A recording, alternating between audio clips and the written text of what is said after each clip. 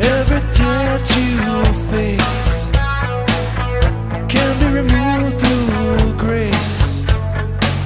Every law you break Can be fixed through faith If you want them to. Every sinful